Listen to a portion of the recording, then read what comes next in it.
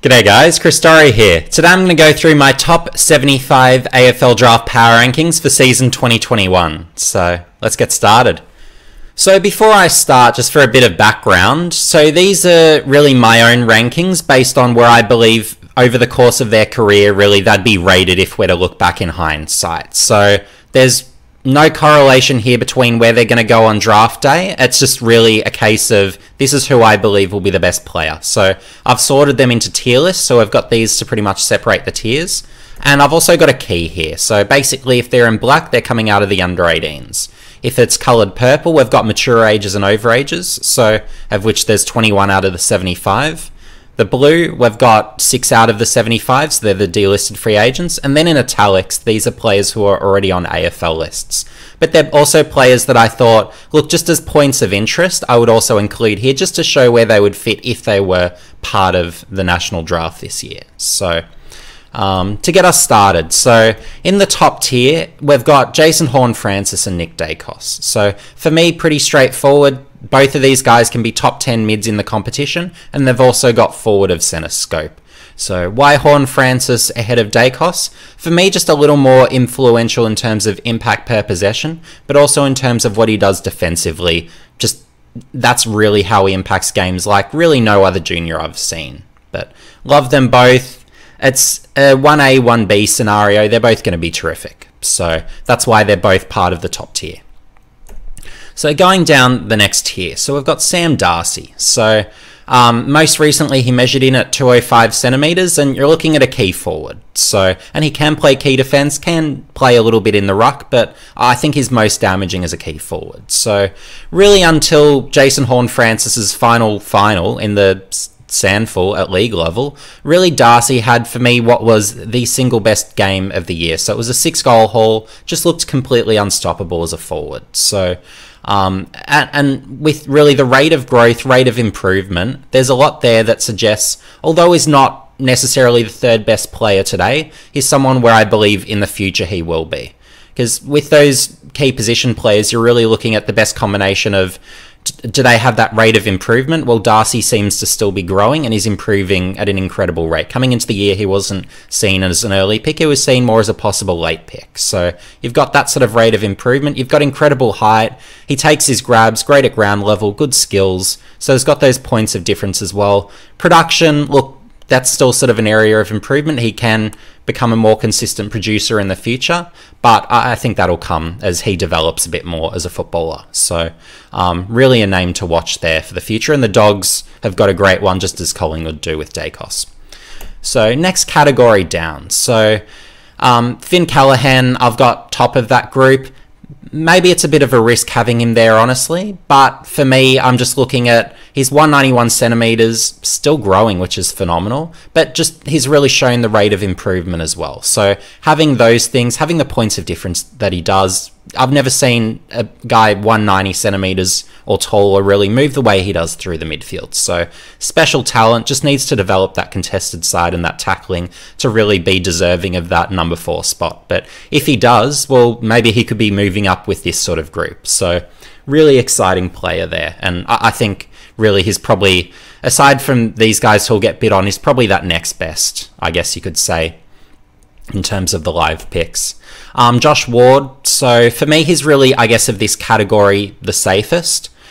Some might say he's probably the lower reward potentially, but I think he'll be an exceptional footballer. So what he was doing in the last month in the NAB League, phenomenal. He was basically matching Nick Daicos for output just about. So you're looking at a really good midfielder right here. So look, you're not going to get the scoreboard impact or the forward of centre craft of a Daicos, but in terms of what he does through the midfield, he's a complete player. So wins it, all class with how he uses it, moves well. There's nothing wrong with his game. He's a fundamentally incredible footballer. So um, he'll slot into a midfield next year. So um, yeah, I think he'll be a great pick and a good value get for that matter for whoever gets him. Um, and then we've got Neil Erasmus. So um, we'll have to see whether he's a top 10 pick, but what he was doing at the start of the year was very impressive. So Um, you've got that December birthday, so that's always fantastic. So and he's also still growing as well, but he's also really developed as a contested ball winner this year. So um, and how he reads the game, how he reads it in flight, just reads it early, intercept marks. You've got all these really unusual characteristics, and he can go forward, he can kick a goal. So for me, there's a lot there, and as long as he sort of develops his kicking a little bit, I think he'll be a really good piece for a team. And I think really just based on that rate of improvement, that ball winning, I think he'll be one of the really good midfielders, and I think there's a really good chance that he'll reach that potential. And then moving down, so we've got Matthew Johnson. So as with Erasmus, another WA midfielder, and Johnson could possibly go a touch earlier. And there's a bit of contrast there where Johnson, he isn't that same level contested ball winner that Erasmus has proven to be this year, but what he does have is the class. So he's that 192, maybe 193 mid, but he moves just incredibly well. So has the agility, has the speed. It's just that first step that's incredible. And in terms of that composure, the skills, he's got all those ingredients. So for him, it's just really all about can he, as with really you could say of a Callaghan, can he develop that contested side? If he does, you're looking at a gun midfielder, and he can be one of really this category sort of up here. So we're looking at a really exciting player, but just because he doesn't have that contested side, probably a little disappointing at the start of the year based on my expectations coming in. I couldn't quite justify putting him into this sort of range, but certainly what he was doing late between what he was doing during the under 19 champs, what he was doing as well in the um, WAFL Reserves finals, just incredible. So playing really good football, one of the informed players to finish the season. So um, very exciting at that height. So um, yeah. Um, next up, so Mac Andrew. So Melbourne Next Gen Academy. Of course, they won't be able to match bids with the new rules stating that if there's a bid in the top 20, you can't match. So um, unlucky there for Melbourne. So whoever gets him will be getting someone pretty talented to say the least. So you're looking at a 201 centimeter, really project ruck, but he's got a lot of talent. So high leaper. Um, you've got the skills, moves with an incredible fluidity for someone that height, and he can take a grab as well. So it just has that reach and, and can take a grab. So I'd love to see him start his career in defense. I think that's the best opportunity really to develop his game. But there's also the chance as well that he starts as that sort of, I guess, in a role a bit similar to a Luke Jackson, where you're playing a lot of forward but getting some shots in the ruck. Though I think, given again how light he is, I think it'll take a bit longer until we see an Andrew through the ruck. But um, in the long term, certainly, I think Ruck will be his best position just with how high he gets, where he'll jump at a Ruck contest and he'll get his hips above the opposition Ruckman quite often. So, um, but it's just a case of getting stronger so he doesn't really get knocked off the ball, can't sort of be body blocked, so then he can't get a jump at the ball. That's really sort of the problem there. That's going to limit him in the short term, at least, from being that sort of Ruckman. But um, Lee Collier, for me, he's the best key defender in this draft. Um, just firstly, the rate of improvement. So again, with the key position players, I love the rate of improvement because that's a sign that there's more improvement to come. And even though he's a couple of years older, I'm not worried about that at all. We've had so many mature ages over the years that have really shown that they can continue improving and often even at higher rates than those that come out of the under 18s because they've got that sort of built up resilience. They know that they have to work that much harder to really ensure they have a career. So um, yeah, I'm definitely a big believer in Leek and he's got the attributes as well, where he broke the running vert record, of course, at the combine. And you've also obviously got those intercept marking components where he'll fly for it, he'll take the grab, He's good defensively as well, so he really sort of ticks the boxes. So, and for me, the number one objective, of course, as a key defender is you really want that high level interceptor because you look at all the best key defenders in the comp, they're all doing that at an elite level. So, Leek Aleer, he could be possibly something like our All Australian Aliir Aliir this year. So, very exciting player, really like him. And I think he'll be, as per my recent video, I think he'll be one of the real value picks in this year's draft. So Josh Rachele. So I think on draft day he goes earlier than this. He could be a top, could be say five, six, seven sort of pick. So I think he'll be going pretty early. So. Um, and look, in terms of that sort of combo forward mid, I think he's really good. And he's been spoken mostly about as a forward, but I actually really rate what he does through the midfield. Whereas a genuine first possession winner, of course, in terms of skills, I could make a case that he's the most skilled in the draft, just in terms of particularly what he does by foot. He's really exceptional, and he's of course a threat forward of centre.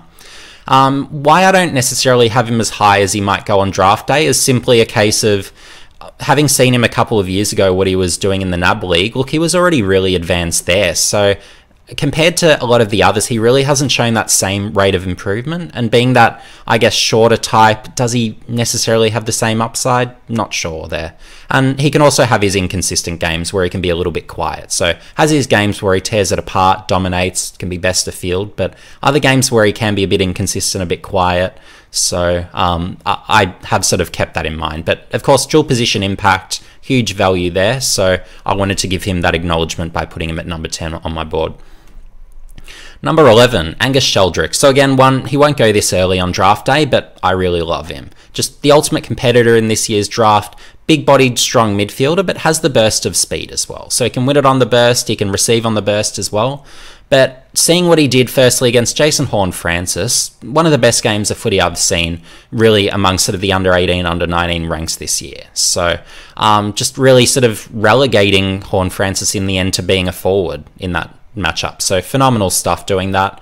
Um, what he was doing in the um, WAFL Colts finals as well, sensational. But during the under 19 champs, he was the leading contested ball winner of the time. Really, that dominant midfielder that really just didn't give the South Australian midfield a chance. So.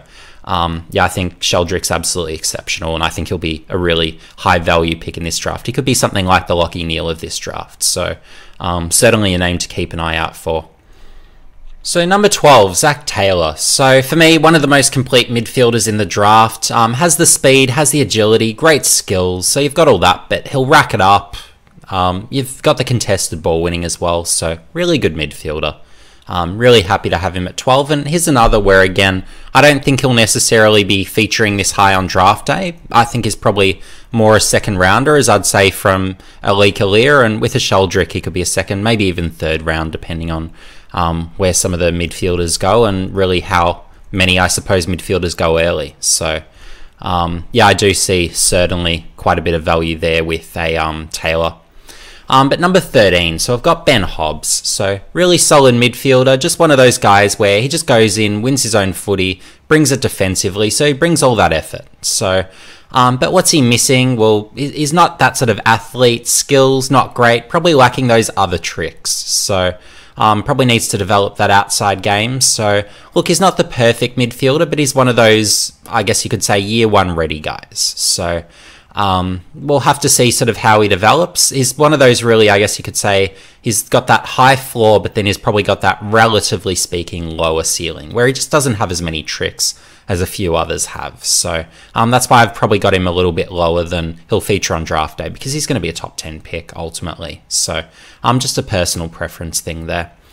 Um, so number 14, Nasiah Wanganeen Milera. So in terms of outside players in this draft, he's just really, I guess, in terms of that pure outside talent, really as good as they come. So he's got that agility, that speed. He just runs around guys just so easily and just avoids tackles with ease, creates that time and space for himself when under pressure, and of course he's got the skills with it. So um, incredibly talented, but if he was to be higher on my board, I'd really be expecting him to be able to win a bit more of his own ball than he can. So, still quite skinny at this stage. Hopefully, he develops that contested side, and if ever he does, well, yeah, you're looking at a really good player that could really be quite a lot better than this. So, and again, a bit like a Hobbs, maybe we're looking at a top 10 picks. I think he probably goes a little bit earlier than this on draft day, but that's just where I've got him positioned, at least on my own personal board.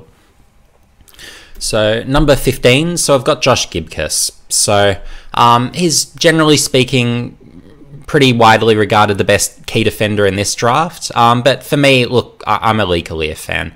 Um, with the Gibcus, I really liked what he was doing early in the season, just as that real, I guess, intercept marking force. When he's going for those intercept marks, that's when he's at his absolute best. Because he can leap, he can take a grab, so you've got those components there that are promising. But what I was finding is when he went forward, he just looked lost, so that didn't work for him. But he had other games in defense after that as well, where he was just playing really a shutdown role. And look, he just wasn't intercepting enough at all, doesn't rebound at all. So, um, yeah, I guess he just really needs to make sure if he's going to be playing a lockdown role, he just needs to have that intercepting balance. So, um, but certainly I think is a solid get. And um, yeah, look, he should be a top 10 pick more likely than not, I'd be imagining this year, um, just given there aren't all that many, I guess, high end key position players. But yeah, look, for me, I'd say he probably should be picked a little later in terms of, I guess, where I think his quality fits in comparison, at least, to the others in other positions. So, but personal preference. And then we've got Jye Amiss. So, um, yeah, look, he could go a little earlier than this, depending on, say, if a Fremantle or another club really want to go a bit earlier on a key position or on a key forward, more specifically. Um, and look, he is a 196, but he is that really sort of leading style forward. So um, we'll have to see sort of how that works, whether he can become that genuine key forward, but um, certainly his rate of improvement's been terrific. And if you're looking for someone who can just really hit the scoreboard and really just nail those opportunities in front of goal pretty consistently, look, um, Amiss really doesn't miss too often in front of goal. Late season, look, he did during the under 19 champs when he appeared miss a few shots that really he should have converted and same later in the um, WAFL Colts campaign. But certainly for the vast majority of the season before he was sort of had a few niggles that sort of slowed him down he was really terrific. So really making the most of those opportunities he got. So um, yeah looks like he can be a pretty solid get and that's why he's in this category um, Arlo Draper, look, he's had some injuries, but I've really liked the signs from him. So he's a skinny midfielder, but he can win it contested, so that's promising. In terms of that class composure, that's what he brings to the table. So um, very exciting player. Um, he's got versatility as well, so he can play midfield, forward. You could even use him back if you wanted. Um, can play inside, outside. So there's options there, but look, possibly he's been best probably more inside mid, so hopefully he builds up that strength so that he can convert that to AFL level. And otherwise, forward he's been pretty handy too, sort of across half forward as that sort of more so playmaker than finisher. So looking for those more inside 50 targets, I think that's where he can also provide a bit of value and may start his career potentially. Um, the next one's a personal favourite of mine, and we've got italics here. So of course he's already been picked up. So pre-selected as a rookie. So and that's of course due to the AFL's concessions. So um, so we've got Bodhi Uwland. So just in terms of that real power through the midfield, just breaks tackles with ease. So really strong body. I think actually his most recent measurements are 187 centimeters and 90 kilos. So really powerful lad. Um, but he can certainly build his endurance. But he's one of those guys where a bit like a Jake Stringer, a bit like a Jordan De Goey, he can just really impact games really heavily. So um, loved what he did in the NAB League games that I've seen and the one VFL game that I caught of him as well. Just really looks like a footballer and really an influential one when he's up and going. So really exciting. You can put him back as well across half back. You can generate drive, intercept a bit, and you can even put him forward of centre if you wanted. But I just really love that sort of power through the midfield as that real point of difference. So um, it'll be. I'm really hopeful that Gold Coast can develop him. Fingers crossed they can start sort of improving their player development and start improving that. But um, yeah, if they don't necessarily develop him over the next few years, he'd be someone I'd really be targeting in a hurry in terms of as a trade target because I think there's really a lot of scope there to develop. So he's someone I'm really excited about and probably more so than I'd imagine too many others would be at this point in time. So number 19, Mitch Owens, so St Kilda Next Gen Academy. So um, they'll be hoping that there won't be a bit inside the top 20, but there is the chance that that could happen. So there's a few clubs sort of later in that first round that are sniffing around and might have some interest. So starting with GWS with their second pick sort of at 13 or so. So um, that'll be one to watch out for. And there'll be a few clubs later on in the round that are looking for that more sort of taller outside type. So um, and with an Owens, what's really appealing to me with him, so is that taller mid, but he's that late grower where he's just grown a heap in the last few years, um, improved a lot with his footy as well. So again, I'm really seeing that upside with him. So that last month of the season really played a good brand of footy, but before that, he wasn't really as much on the radar as someone who could feature high in the draft. So um, it'll be interesting with, I guess, that small sample of really good games later on in his season that um, where he'll go essentially. So he could be something like a 15 to 30 in terms of where he's drafted. So we'll have to wait and see how that plays out. Um, and another taller midfielder here. So we've got Mitch Knevitt. So he's your 194 centimeter mid. So really tall, big bodied mid, really strong, stands up through tackles importantly. Um, but tackles well, strong contested marking target, gets around the ground, really moves well. So he's got that athletic profile.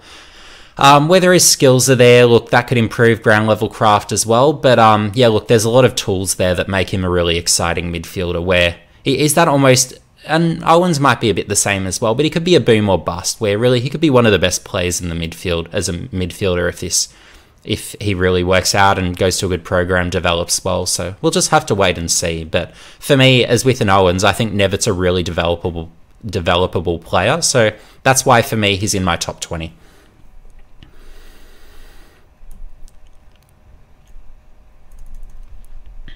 So the next next category down, so Matthew Roberts. So I said in my video last night that he's number 21 now on my draft board, and all year I've had him as a top 10, but just watching him through the under 19 champs, look, he just didn't do enough ultimately, and how he closed the season out, look, he had moments, but he didn't do enough. He's one of those guys where he really wants to win a lot of it and really needs to win a lot of it to be an influential player. So um, and look, he can at times be damaging with his kick, but he's just one of those guys where he just needs to show a bit more composure with the ball, lower his eyes a bit more, look for those short targets more. If he starts to develop that, look, maybe we're looking at a really good midfielder, but um, they're the things we need to see from him first. So he's a second to third rounder now. He won't be going first round on draft day. So I still probably have him quite a bit higher than where he's likely to go on draft day ultimately. But um, yeah, look, I'm still a fan, but I have had to sort of ease back a little bit in my projection there. And the reason he could drop so far, of course, is this is a really even draft. And that's something that's really important to understand. Where, like, you could have someone where I could rate them as a top 10 player. So you could be in this sort of 7, 8, 9, 10 range. And you could pretty easily, with a few bad games, really drop into the 20s. So, um, and that's ultimately what's happened with quite a few players, where I might have rated them one month around the 10 mark and then they're outside the top 20 the next, just because it really doesn't take a lot really to drop down that tier into that sort of next group, and alternatively for others to jump up a tier with some really strong performances and really prove that they're really that class above. So. Um, so I'm pretty comfortable with a Roberts at 21. Um, ultimately, he's an inside midfielder, and what he was doing, certainly in the SANFL League level, being that forward outside mid, it just wasn't the best use case for him. So he really needs to play through the middle, just be that ball winner, and really that, I guess, high production one at that. So that's how I think he's best used. Um, Jacob Van Rooyen, so um, capable key position player. What sold me on him later on in the year was actually what he did during the under 19 champs as a key defender. So, um, look, he can play forward. I don't love him forward though. I think he's probably a bit limited, probably needs a few more tricks to be a really good key forward. But as a key defender, he just one on one, he was holding his own. So that's great. He was intercepting, can rebound a little bit. So, um, yeah, I think there's real scope to develop in defence. And look, although he's that sort of, he's not a super tall sort of key position player, is that 193, 194 type. So, well, he could be a 195 with another centimetre or two growth. But um, yeah, look, I, I think that's still more than sufficient to be a capable key defender. If you've got the game, which he does, he's athletic, is strong, I think he'll translate fairly well. So I think there's a good chance that he develops. But yeah, for me, it's more key defender than key forward. So that's the thing I'd be more conscious of. Um, Alistair Lord. So a lot of people, I'm sure, will find this quite high, and having him ahead of Sinn and Goater is one of my trademark moves. So or trademark picks. So I, I, just love what he does as a rebounder. So that he's got that run and dare like no one else really in this draft in terms of really how he takes on the game across halfback. And in addition to that, he's got the skills as well. So just as a pure rebounder, I think Lord is the best pure rebounder in this draft. So he's not as tall as a Sinn or Goater.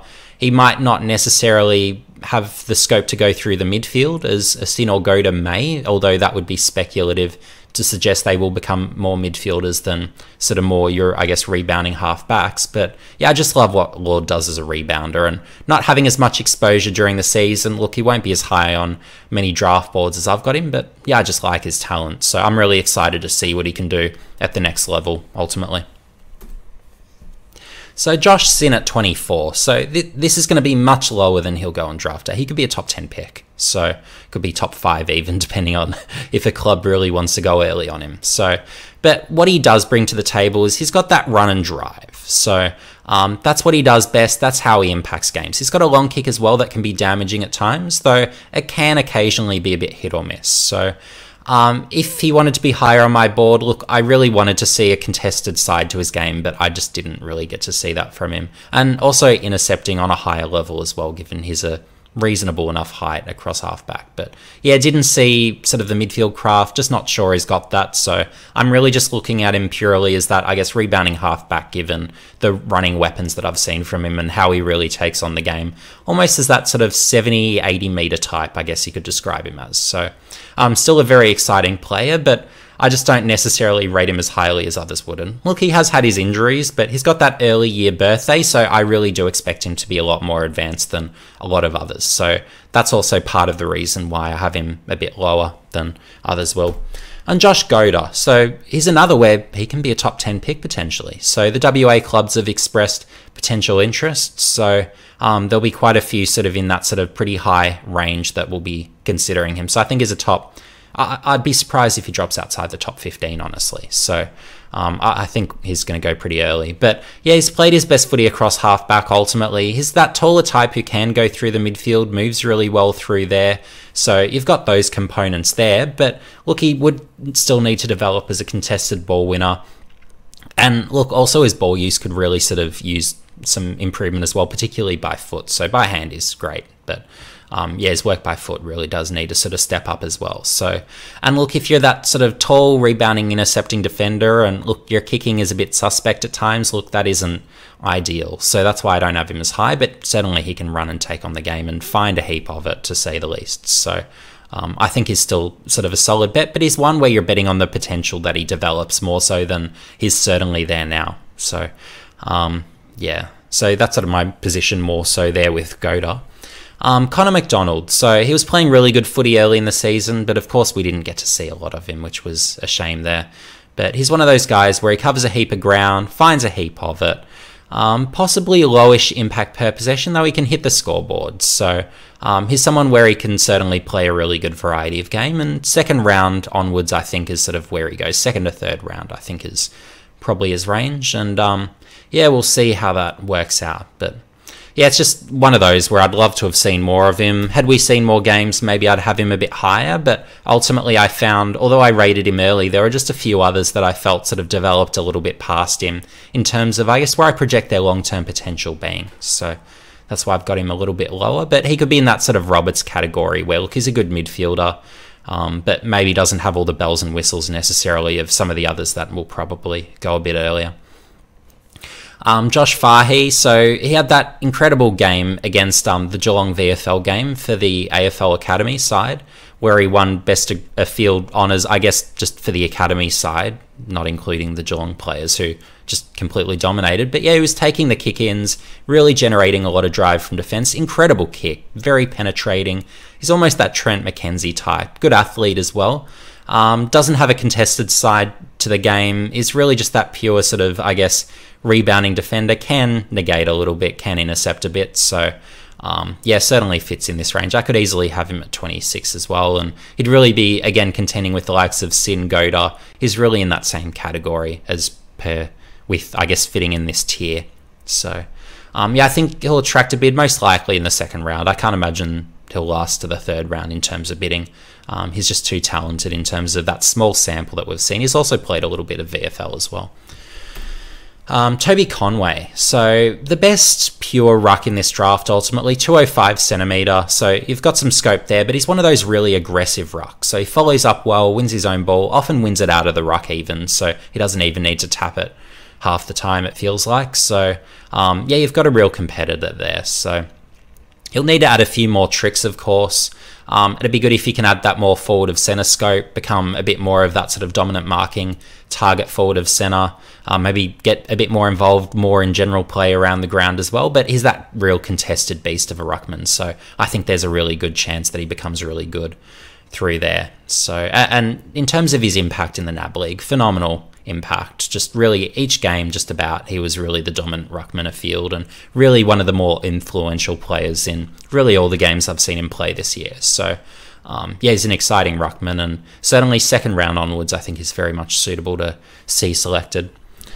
So Cade Dittmar, so he's another where I don't think he goes this high. He's more of a later pick, more likely than not, but is just that bigger bodied, strong midfielder, wins a high amount of it contested, has a good burst of speed, but he's just a really lively midfielder where he brings the energy, brings the pressure, tackles, So he just feels like he's buzzing around, making something happen, and just really exerting his influence, a bit like a Sheldrick almost. So, along with Sheldrick, I thought Ditmar was one of the real risers during the under 19 champs for WA, and I'm, I'm really solid on his talent. I think he's a really good one.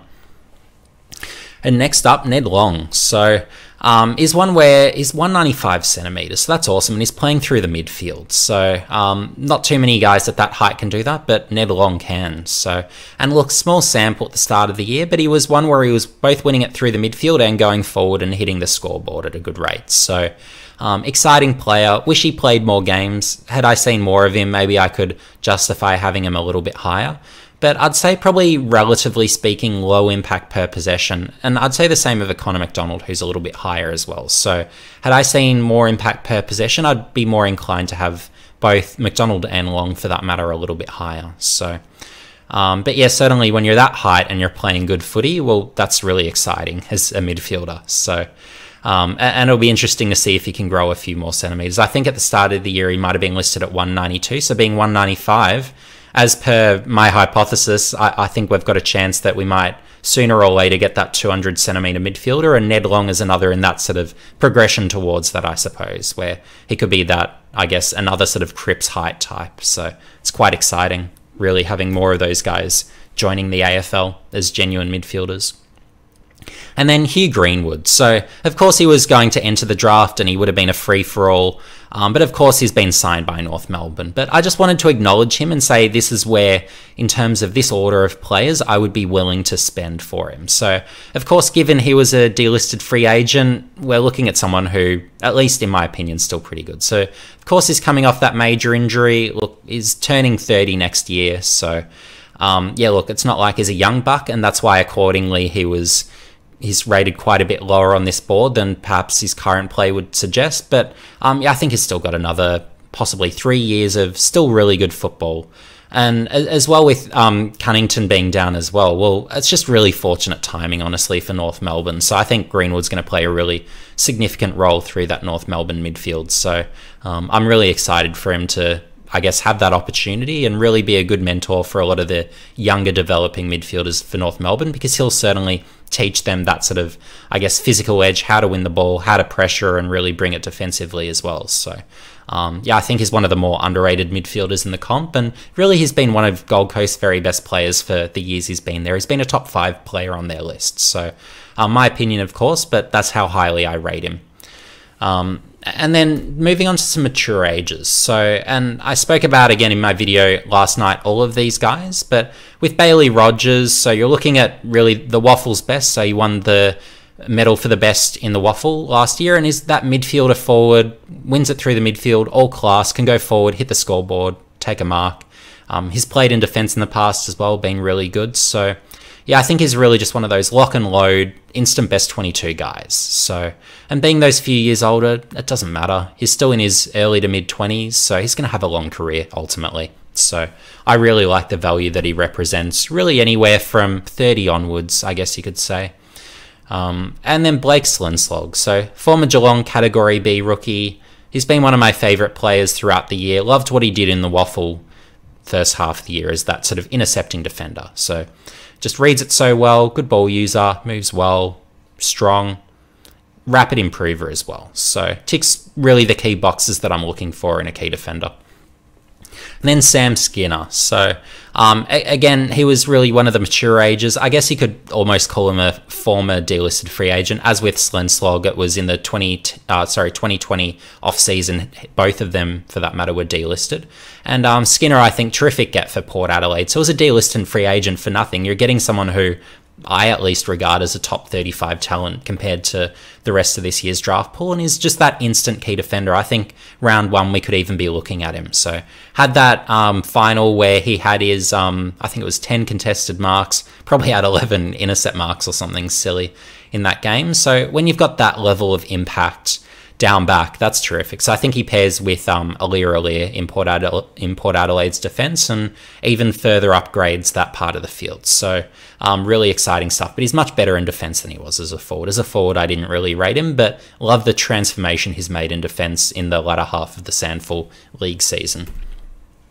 So Angus Baker at 35. So he's had obviously the time in the NEAFL where he was just absolutely dominant across halfback. So just getting those 30 plus disposals, high level interceptor, high level rebounder. So you've got all that. So as your 191 or so 192 centimeter defender, that's awesome stuff. So and then this year, really terrific season in the VFL as well. So really showed that he really, really sort of belongs at that level. So I, I, really think he'd be an instant AFL level. Just walk up start in a best 22 if you really you need that, I guess, general defender who can intercept a bit, rebound a bit. So yeah, he's one where really he should have been picked up years and years ago, but it's just AFL clubs keep ignoring him, which is really their loss at the end of the day. Because again, plug and play, genuine best 22 standard for me. So um, I, I, think Essendon really missed out on that opportunity, both early season and mid year. Though, in, in fairness to them, though, they've really developed a lot of their defenders. So, um, yeah, hopefully someone else gives him a crack this year. Not sure they will necessarily, but he's certainly one where I would strongly advocate him, given I believe fully that he is a best 22 player for AFL purposes. And again, he's one of those where he's in that early to mid 20s. So it's not like he's too old. He's really that sort of medium to long term player. So you're going to have a full, proper career from him. So he's not just a short term fix by any stretch of the imagination. And then you've got Jack Avery. So what he was doing as an overager in the Waffle Colts, terrific. Was the highest sort of possession winner the whole year at that level, and um, yeah, doing that across half back. So later on, of course, he was playing at league level and really playing good footy as well. So held his own, showed even though he's more that intercepting type, he could even shut down a Tyler Keitel, who's the best key defender in the waffle at league level. So just held him to two goals, which is well under his average for the year. So um, really good stuff. So he can defend when he has to, which has been one of the critiques on him. Um, if he improves his work by foot and really becomes, I guess, a more reliable and consistent kick, maybe he could be worth even a lot more than this. But um, yeah, it was just a case of what he did during the under 19 champs. Look, I really wanted to see a bit more domination from an Avery than I did. But yeah, look, he was still fine. But really, when you're an overager, you really need to dominate at that level, which is why having him earlier in the year in my top 20, I did have to move him back a little bit into this category. And of course, it, it doesn't really take a lot, given the evenness again in this draft, to really move guys down or up accordingly. Um, so Charlie Dean at 37. So as I said in my video last night, really impressive resilience. Got overlooked a couple of years ago, but kept working. Had a really good VFL season this year. Really transitioning as a, from a, previously a key forward into a key defender. So um, really won the Rising Star equivalent in the VFLs, the Fothergill Round Mitchell Medal. So um, yeah, looks like a piece for me at AFL level, and I think mid to late draft, I think he'll get picked up by a club. So um, yeah, I think he'll be a really good get. And after Lee Collier, probably, and I guess you could say Blake Schlensog as well, but he's probably that other key defender who really deserves a shot of those mature ages. So I think in terms of key defenders, it's really that mature age group that really represents quite a good amount of value this year if that's what your team is after. So, Ronald Fejo Jr. So, one of the most exciting outside players, if not the most exciting player in this draft, just in terms of what he can do with ball in hand. So, he's got the speed, agility, he's got the skills as well. Just check out some highlights of him. He's phenomenal. So, um, we'll need to develop that contested side to really show he can make it at AFL level. But if you've got a big ground that has some width to it, I think he can be a really impact- impactful player. So, um, and he is those couple of years older, but look, being sort of newer to an AFL program, not really. He's coming from Northern Territory, so he hasn't really had those, I guess, traditional junior talent pathways. So I think there's really quite substantial up, untapped potential there. So he could be your whether it's a Lewis Jetta equivalent or something like that. So if you're really after that outside excitement, Fejo Jr. is a good bet. And you could get him mid to late, I'd say, with quite a bit of confidence. I don't think he'll go early, but um, yeah, I think he's really that good bet. Where if you miss out on someone like a Nasiah Wanganeen-Milera, if you had your eye on him early, you could easily get a Fejo Jr. later, and you're getting someone who's every bit as exciting, if not even possibly a little more exciting in some respects. But yeah, you are getting someone a couple of years older, so be mindful of that. But again, what I've found when I've analyzed mature ages, a lot of the time, even though they are those few years older, they often continue to improve at the same or often even better rates than those that are quite a bit younger. So, um, and I think this is really a missed opportunity that a lot of the, I guess you could say, online publications aren't really sort of talking about enough and not giving a lot of these mature ages enough credit, where they're not realizing that even though they are those couple of years older, you're really not losing anything by taking them because they're still going to keep improving. They're still going to have long careers. So, um, yeah, I think really a lot of people really need to rethink, I guess, their weighting towards mature ages. Because if you don't have any mature ages in your top 40, well, that's just rec- not recognizing really a very important part of the talent pool. Where if you look at any draft past, you're going to have certainly top 30 players. And from my research, I've found every draft there's been at least a top 15 player. So, um, yeah, it's just really, it should be obvious, but it just comes back to really researching drafts past. And that's why I've really made that one of my big changes for this year as well where I really wanted to highlight the value of mature ages and really rate them more appropriately. And I think there's even scope for me to possibly bump up a few more mature ages in the future. But um, I, do believe there is still quite a lot of value in mature ages. So even though we've introduced the preseason supplemental period, even though we've introduced the mid-season draft and we're getting more mature ages taken there, I still see a lot of scope in terms of the mature ages, just because there's so many that get overlooked every year a lot of the time, and others where they're just not necessarily the preferred, I guess, candidates. And there's such an evenness and such an overall strength where sometimes it's just finding that role player, and other times you can find those genuine best 22 any team sort of types. So um, yeah, I think there's still that untapped scope with mature ages, and with the re- reduction in list sizes as well. I think that really, broadly speaking, almost means there's more players available who should be on AFL lists that aren't compared to a few years ago as well. So, um, yeah, I do think there's those opportunities with that, as well as possibly because of that re- list reduction in size, we're also seeing some worthwhile delisted free agents which we saw both last year, but then again this year. So I think that really sort of, I guess, ups that scope as well. So um, yeah, that's something else to, I guess, be mindful of. And that's why I've really gone stronger this year as well on some of the delisted free agents. And I've made a video on that as well. So number 40, so Tyson Stengel. So already signed by Geelong, that's fantastic.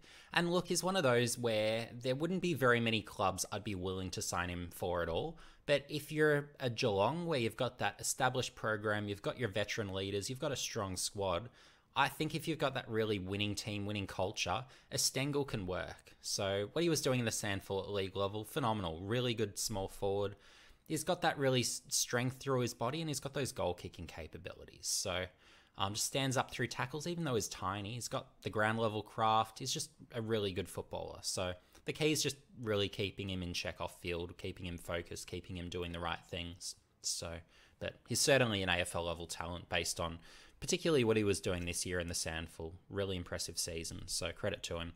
But yeah, we'll need to stay focused. But look, with Eddie Betts jumping aboard for Geelong, I think that's a good situation for him. So I think he'll have a successful season this year. So moving down to the next tier. So we've got Blake Howes. So you've got a 190 plus centimeter who can be that sort of marking forward. He can be that sort of tall running wing.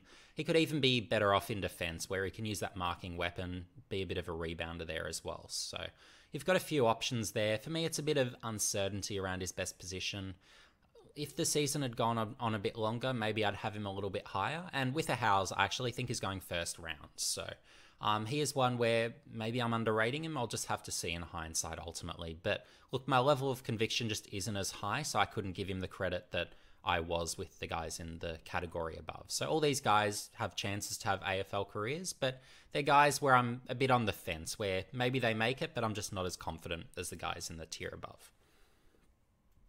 So Rhett Bazzo. So he's that almost key defender, whereas key defense height, whereas that 195 or so, but he's still pretty skinny. So, um, but when he's at his best, he's going for his intercept marks with confidence. That's when I really love how he plays. Don't like him as a forward. I don't think he's going to make it as a forward if he gets put there, but in defense, I think there's real scope for him just as that real high level interceptor. So, and look, able enough one on one, he can rebound a little bit as well. So he's got a good game, and I think really second round onwards he'll come into the mix and be one where he's certainly worth drafting.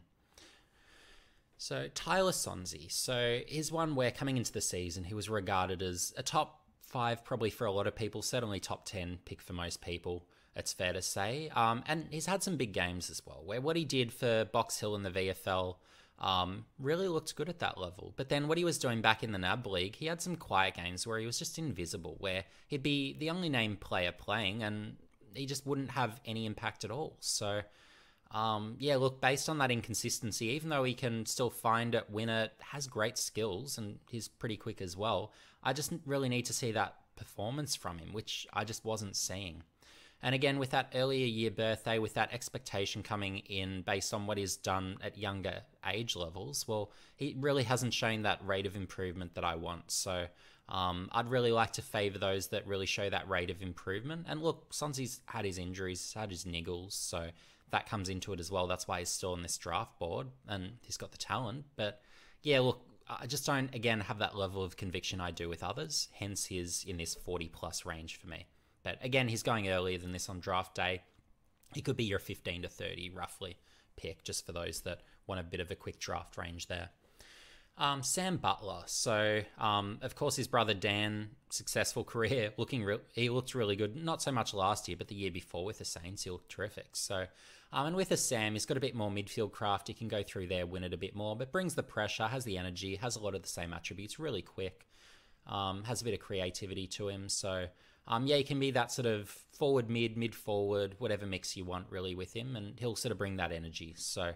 Um, certainly draftable. Maybe lacks a little bit of polish as with Dan, but he's certainly more advanced than Dan was at the same age. So, um, yeah, sort of. You're probably he's a second rounder. Could slip in late first round, but I think he'll go probably second round. So, um, probably goes higher than where I've got him again. And the same will be the case with a lot of these guys, just because I've bumped up a few mature ages higher than a lot of them are likely to feature on draft day, if indeed some of them feature at all. So.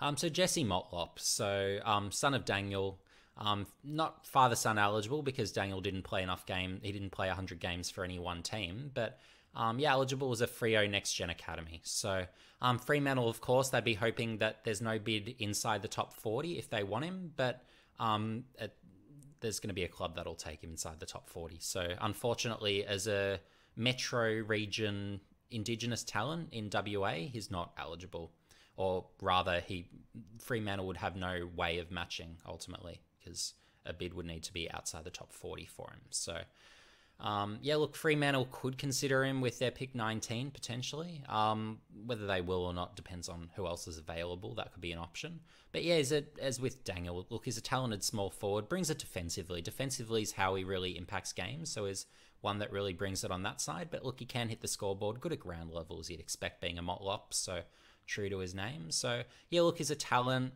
Could he be in that sort of Daniel Rioli where it's maybe not quite enough scoreboard impact? That's sort of where I'm feeling, but he obviously brings it sort of in terms of that. He has that speed, agility, brings in terms of that pressure. So look, he could make it, but we'll just have to sort of see whether he can step his game up beyond being at that level. So bit of a uh, again, I'm a bit on the fence there where maybe he makes it, maybe he doesn't. So as with all these guys in this range here but certainly has some AFL scope. Hence, he's inside my top 50. So Darcy Wilmot. So um, yeah, obviously the December birthday. So a great deal of scope to improve. Would have been good to see more of the continuation of this year. But look, he's pretty sound defensively. He can intercept, can rebound. So um, you could easily make a case he should be higher than this. But probably for me lacked a little bit of polish in quite a bit of what he was doing. So um, look, I do have him a bit lower than I guess those um, rebounding sort of defenders that I had in the twenties.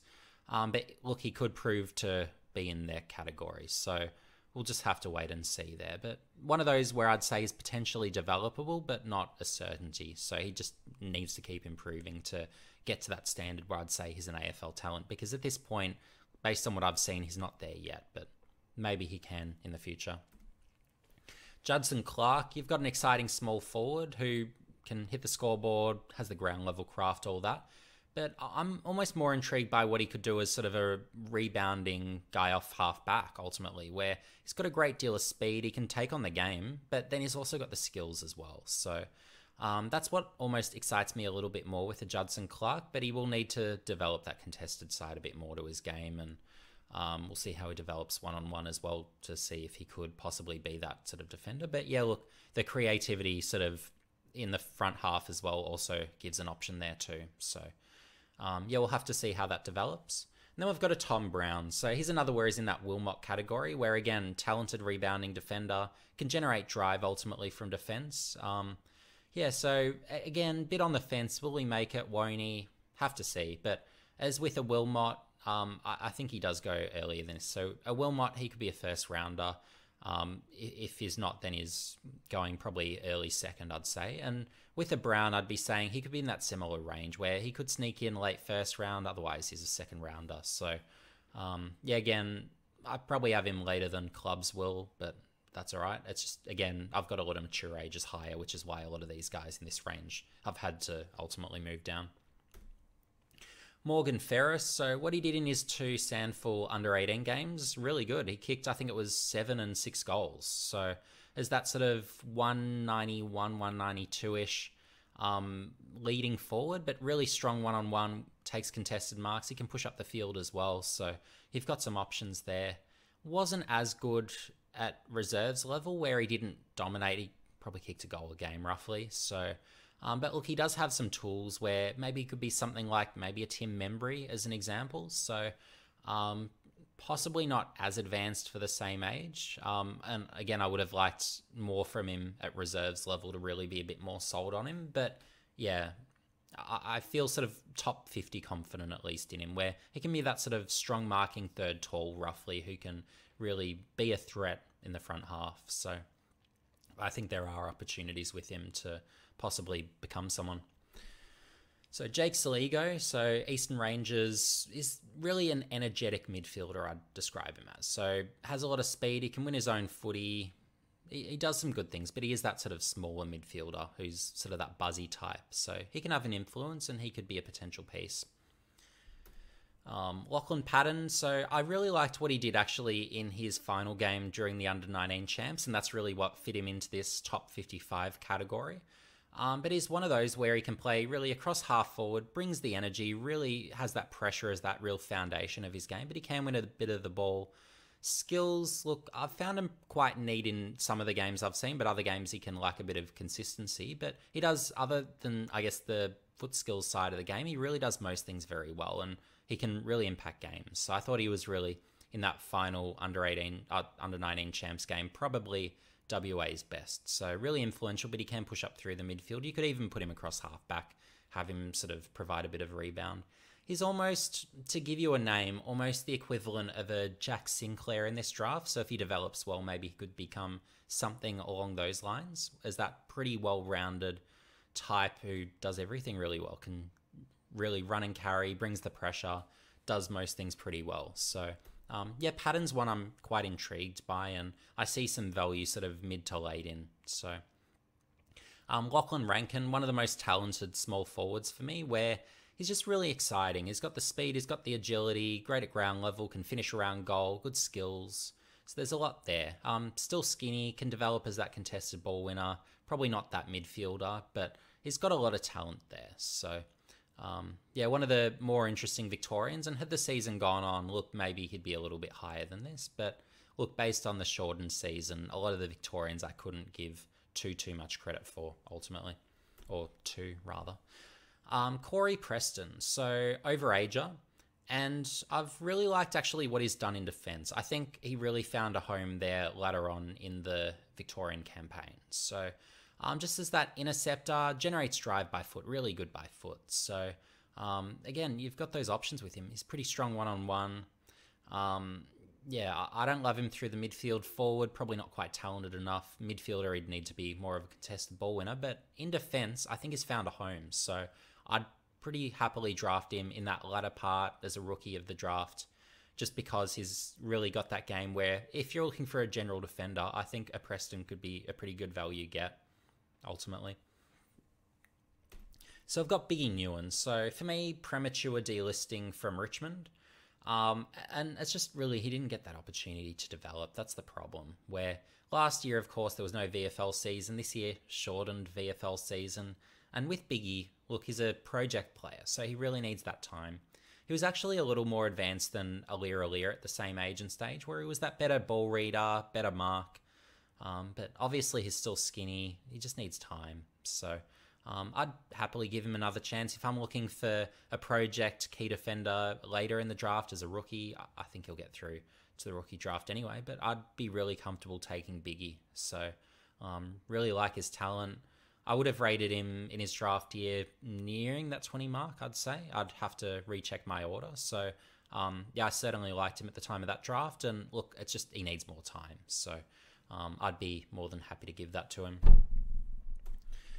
And the last player in this category, so Marty Gleeson. So delisted by Essendon, they just couldn't get him games in defence. And he has had his injuries, which has been a shame, but still fundamentally, I like his game, where he can still win his one on ones. He intercepts and reads it very well in defence, and he can use the footy. So, um, yeah, look, I like his game. I think he's a genuine fit in a back six for a team. So it's just a case of if you need a ready to go general defender and you don't mind their age, even if they're in that sort of mid to late 20s region, well, I think Gleeson's a good get for a team. So um, that's why I've given him the credit and put him on my draft board ultimately.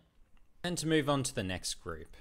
So Starting with Bailey Lambert. So he started off the VFL season like a man possessed. So in his first three games, I believe it was 11 goals he kicked. So, and he's one of those real X factor goal kicking forwards. So still in his early to mid 20s. So it's not like he's over the hill old.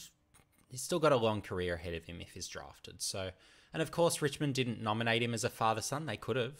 Son of Craig, he was eligible, played enough games. So, um, but ultimately, Richmond chose not to pick him up. So um, I think there is value represented potentially in the latter part of the draft or as a rookie if you want that real, genuine goal kicking forward. So, um, yeah, certainly Lambert is one where I'd say there's a bit of value there ultimately. And I'd say the same as well for Jacob Dawson. So, um, what he was doing in the VFL, he was playing really good footy. So, finding a heap of it, he'd have his 40 disposal games, win a heap of it contested, but he was having an influence on games. So, um, and look, again, he's a young guy. He's in his he'd be in his early to mid twenties. So um, former Gold Coast, um, and they weren't really sort of giving him those opportunities. So I think they were even playing him in defence, if I recall correctly, in sort of the latter part of his time there. So, um, but yeah, really good midfielder. That's if you're drafting him, draft him as a midfielder because that's where he plays his best footy easily. Tyler Keitel. So he's been really good in the waffle for quite a while now, and he's one of those guys where, look, he's not young, but he's a ready to go plug and play key forward. So um, just really kicks a heap of goals, strong mark, is a presence up forwards. So um, and really with key forwards, you just want those goal kicking threats. So and with a Keitel, just ready to go, plug and play, put him in. If you're say a Brisbane where you're missing a Hipwood for the season, plug in a Keitel, pick him up with your last rookie pick. There's probably no one interested in him. So that's the sort of pick I'd be making, certainly there. Um, and then we've got Hamelman. So similar story. So former Brisbane, funnily enough, as it works out, but that tall key forward, great on the lead. Is that sort of is a real marking presence, but he hits the scoreboard like mad, makes the most of his opportunities. Again, if you're missing a Hipwood, you can easily just plug in a Hamelman as a short term rental just about as a rookie. So um, yeah, I think there's real value again with a Hamelman. So, um, and then a Jack Hayes. So we're going from the waffle to the VFL to the SANFL now. But um, Jack Hayes, so is not quite that key forward height, but again, you've got an athletic marking presence. He could be that Josh Corbett equivalent, I guess you could say um, where again he can play as a competitor. He's played some really good footy for a long time now in the SANFLs. So again, if you want that immediate option as that key forward, get a Jack Hayes and look, you could put him in defence if you wanted to, and he could be fine as that sort of intercept marking type. Given his athletic profile and how strong of a mark he is. So you've got a lot of options there, but these guys fundamentally can all play footy.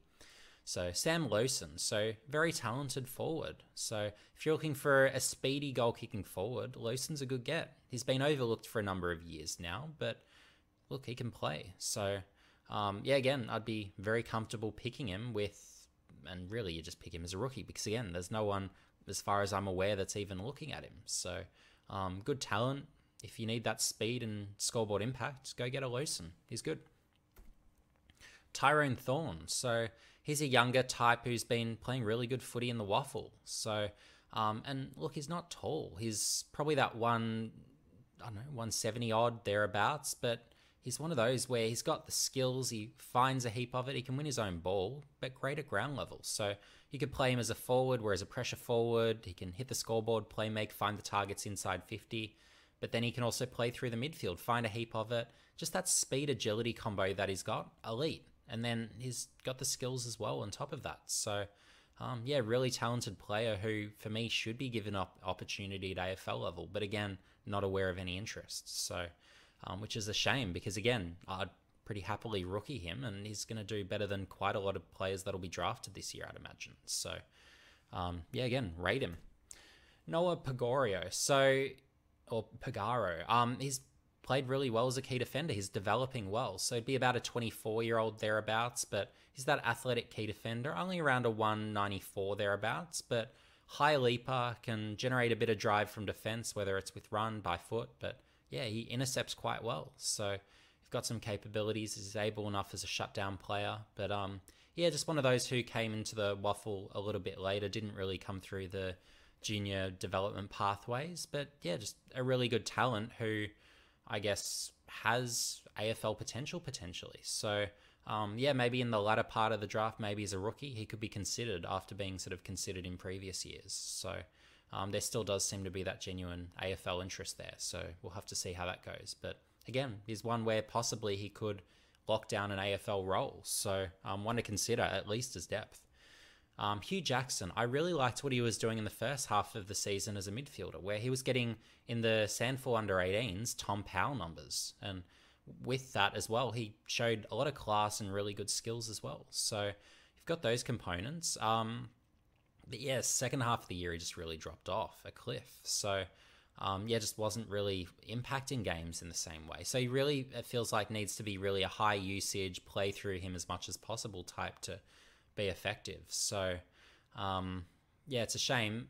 He could possibly develop some forward craft. He's got the instincts at ground level, and again, the skills where he could be maybe a playmaker across half forward. But again, just haven't seen enough impact from him. But, but yeah, potentially he could be a piece for a team to consider. Maybe late, maybe as a rookie. I wouldn't be picking him in the first half of the draft, but one for consideration. Where I think certainly based on what I was seeing in the first half of the year, I want to at least give him the acknowledgement of having him on my extended board and as someone where I'd again advocate that he gets picked later on. Cooper Murley, um, really talented. He can play mid forward, has speed, has skill. Not a big body though, um, but he can do damage. So rate him um, and again, he could be one where maybe probably third round, could be second round, he could be considered, but that's sort of what you're looking at. Um, Cooper Beacon, about a 191 ish defender, really good interceptor and good skills. So um, there's some capabilities there where maybe he could be a piece coming off halfback. Max Pescard, overager, overlooked last year by Gold Coast. Again, they're not interested in him this year either um, but really talented forward. So watching what he was doing, particularly not in 2021, but in 2020, he was a really dynamic forward, doing good stuff. And then seeing him in the, in the VFL this year as well.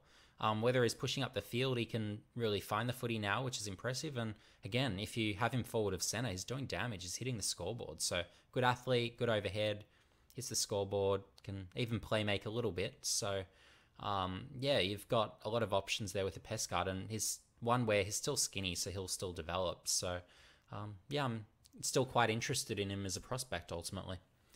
Um, Max Lister, um, yeah, another really good interceptor across halfback. So overager, overlooked last year.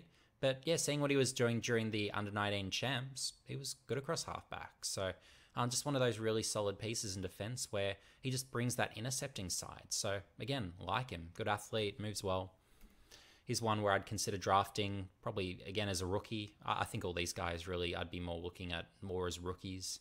So whether it's the likes of a Beacon, hopefully Pescard, Litster, and same with Josh Clark, who's the next one. So another overager. Um, I really like the drive he generates across halfback. So Victorian um, has the speed, can use it by foot, very skinny, can't win his own ball. Um, but again, as that rebounder, look, if he gets a bit stronger, can compete one on one, intercept a little bit, I think there's scope across there that he could potentially be a piece. So again, one where I'd be pretty comfortable rookieing him. Um, Jai Loman, I think he's probably probably more third round thereabouts for me, but he's got some weapons. He can take on the game, really generate some drive. Um, just a good athlete. So I, I, personally like him more across half back, sort of to generate drive. But look, he can play sort of further afield. He can go forward. You can play him sort of on a wing. You've got some options there, but good athletic profile. Um, James Willis, he's got some weapons, really has acceleration and a good kick to him. So, um, given he's got those tools, maybe he develops, maybe needs a bit more polish ultimately. Um, still probably on the skinny side, could win a bit more sort of contested, but he's finding a heap of the balls. So um, he's one where he's got some weapons and maybe he could be developable. So in the latter part, maybe as a rookie, he could be considered. Um, Jack Williams has been handy as a key forward in the um, WAFL Colts. And also when he attends ruck contests inside 50, he's a bit like a Tom Hawkins where he can bully guys, push off them, win the ball out of the ruck, hit, hit the scoreboard. So you've got that optionality with him as well. But I probably prefer him more as a key defender, where I'd be looking use that leap of his. Is it able enough mark? Is strong? Can win his one on ones? So um, probably as a key defender would be more where I'd be looking at. He'll go a lot earlier than this on draft day. Uh, he'll be most likely, I'd say, probably a second rounder, maybe third at a push, but. Um, yeah, I'm pretty confident he'll get drafted anyway. So he's got a, I think he's got a December birthday, top of mind. So um, yeah, again, good talent, but Probably one just because I haven't really loved what he's done as a key forward. Probably doesn't quite have enough dimensions to his game to really be able to take advantage of too many key defenders. I think that probably limits him, but I'm speculating that he could really transition into a pretty decent key defender. So that's why I've given him consideration to have him later on my board. Um, Joshua Brown um, really liked what he was doing in the WAFL Colts as a midfielder, but ultimately when he got to the under 19 champs, he just looked lost because he wasn't really getting those on ball opportunities. So it's one of those pure midfielders where he just has to play through there to be influential. So good ball winner, tackles, finds a heap of it, can even hit the scoreboard a little bit here and there, but um, yeah, ultimately just in the end dropped down my draft board. But yeah, perhaps during the under 19 champs, had he been really given those more prominent midfield opportunities, I'd probably have him quite a bit higher on my draft board because there was a while there watching what he was doing in the WAFL Colts. I really liked him. So, um, but yeah, unfortunately, I've had to really drop him away just because really what I was seeing during the under 19 champs, look, he was pretty well invisible. So, um, yeah, just needed a bit more from that, maybe a bit more versatility ultimately, and a few more ways to impact games as well. Um, Jared Polec, so we're into the recycled territory here, but I still believe in him as a talent. So it's just a case of a team finding a role for him. He's just a short term piece. He's getting on in years. He'd be turning 30 next year, I'm sure. So, or if not, it'll be the year after. But um, yeah, just as that outside mid, I think he's still got the scope as that meters gain type. He's got the run, he's got the use by foot, moves still really well. So um, uh, for me, has been a bit underutilized by North Melbourne, and I think on a team where maybe it's a team that's competitive for finals, looking to win, you could just rookie a Polec or maybe take him late if you really wanted to make sure you get him. So. Um, yeah, still want to be pretty comfortable with. And then the last name on this list. So we've got Levi Casboult. So um, we'll have to see what decision he makes in terms of whether he wants to continue his career and take the steps necessary to continue his career. Um, but if he indeed does, well, he'd be someone where I'd be very comfortable taking him. So whether it's as that key forward ruck, that's the possibility. And again, maybe it's a Brisbane type situation where you use him in that role. You could even do the same at a Gold Coast potentially, where he could be that key forward ruck. But I also like the scope potentially to put him behind the ball as a key defender, where obviously strong, athletic enough where he can be fine. But is that strong contested mark ultimately who reads it really well? So um, I really think there was an opportunity missed during his career, not where he should have been really used as a key defender. Um, but unfortunately, that hasn't occurred. But I think a team could potentially, if they're looking for that ready to go instant key defender for a few years, I think there's scope to maybe get a few more years out of him than people would be possibly thinking. So um, so he was born in 1990, so obviously he's getting on in years. But with key position players, you can play him to whether it's 33, 34, 35, sometimes depending on how their body's holding up. So um, as a short term play, I think a Casboult would be possibly suitable as well. And I also wanted to acknowledge some of the best players not to nominate for the draft. So, firstly, Connor McKenna. So, he's still in Ireland, but he did sort of on Twitter, I guess, tease us that maybe he'd consider coming back. So hasn't nominated for the draft, did retire, so he's not really eligible to join anything, sadly. But he's one where, look, had he nominated, I think he's really a top 25 player ultimately, where I just loved what he was doing before he went to Ireland as that real, real sort of damaging rebounding defender, where both in terms of the run, what he was doing by foot, really impactful. So, um, really like his game ultimately. And then we've got a Will Pearce. So he's the only junior out of really the under 18 ranks where he would fit in my top 75 power rankings, but he didn't nominate for the draft. Maybe it was just no interest from AFL clubs. That's probably, I'd imagine it. I don't know the background behind that, but um, he was the SANFL under 18 leading goal kicker and really strong body, really damaging player, just really impactful in all the games I've seen. So, um, really surprising to me that he didn't at least nominate. But if he continues with his footy, I think he could be a potential piece, and I, I think there's still scope to develop. So he's one of those bigger bodies where he does need to probably improve his endurance, improve his mobility, and all that a little bit more. But um, just with that strength and power that he's got, and just how dangerous he is, particularly forward of centre, and he can even go through the midfield, win it as well. Um, he would be one where I would have had him either just inside or just outside of my top 50. So, um, yeah, it's one of those unfortunate cases where he just hasn't nominated. So, um, Tom Lynch, so obviously delisted by Adelaide, but um, again, if he were to nominate, I would certainly be recruiting him in a hurry. I think he was still playing good footy last year, and he has been really good for a number of years. So, um, yeah, I think possibly is that sort of one to three year rental. Possibly, maybe you could have got a bit more out of him, and I, I would have really encouraged North Melbourne to say, hey, play for us for a year or two at AFL level as an AFL listed player, aside from just being sort of a development coach or whatever he is with North Melbourne now. So, um, yeah, I thought there was still that sort of scope there potentially. But yeah, it doesn't sound like it'll be going that way given he hasn't nominated. But um, yeah, Haiden Schloithe. So I bring up his name every year, but he's one of those really good WAFL league level players where whether it's as a midfielder, whether it's as a forward, he's AFL caliber. So um, it's just sad that he's not getting that next opportunity because he was a former Fremantle listed player. But um, yeah, it's just a shame because again, he's been just incredible at WAFL league level. And the year that Tim Kelly was drafted, well, Schloithe was on the same team and he was the better footballer that year. So just to give you a point of comparison, where we're not talking about some guy where, look, maybe is a marginal talent who could be AFL caliber. We're talking about someone who was outperforming someone who was instantly AFL caliber. So, um, yeah. And then you've got a Jai Bolton, where he's in that same category as a Schloithe, but as a midfielder, what he was doing through the midfield, phenomenal. And as a big game player, he's he's got it. So um, it was a shame that Collingwood didn't retain him longer than they did, because from what I was seeing in the preseason when he was with Collingwood, he was showing some signs, and I was really surprised by how good he was so quickly. But um, yeah, obviously cut very quickly, and what he's been doing for the WAFL for a number of years now, as with Schloithe, just AFL caliber play is outperforming the guys who, whether it's for the whether it's with basically the West Coast reserves, whether it's for Peel with the Fremantle reserves, look, he, they're both outplaying them. So we're really looking at good quality AFL players. But of course, being now in their late 20s, well, uh, it's just not going to happen. That's why they didn't nominate. There doesn't seem to be that genuine AFL interest. But yeah, gee, I rate them as genuine AFL talents. They would be on this draft board as in my top 20, uh, in my top 75, I should say. So,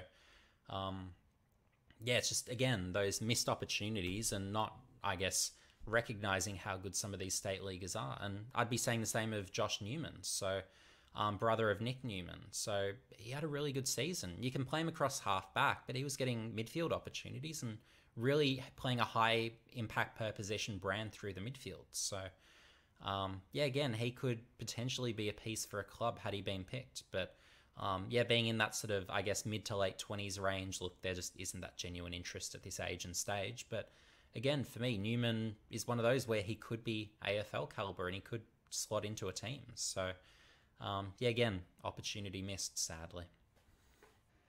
Thanks for watching, guys, and if you enjoyed this video, make sure you check out the rest of my content on espn.com.au slash AFL. So if you want a bit more in depth, I guess look at my um, top 20 power rankings. I've really gone through that and gone through strengths, weaknesses, where guys are likely to be picked, some sort of player comparisons or who they're sort of similar to stylistically. So, um, and you'll also over the coming week, of course, be getting my full Phantom draft. So that's something to look forward to, and also some draft reviews, both after the first round is complete and after the rest of the draft is complete. So, um, yeah, espn.com.au is where you can find my content. So make sure you watch out over the coming days for that. But um, yeah, if you haven't already, subscribe and hit the notification bell if you haven't already for my channel. Um, I'll continue producing YouTube content over the coming years. So um, yeah, do stay tuned in, and I'll consider if there's demand completing some more maybe over the um, over the break potentially, so over the off season. So um, yeah, let me know if you have any particular special requests, and I'll give them some due consideration as well. But anyway, guys, see you in the next video.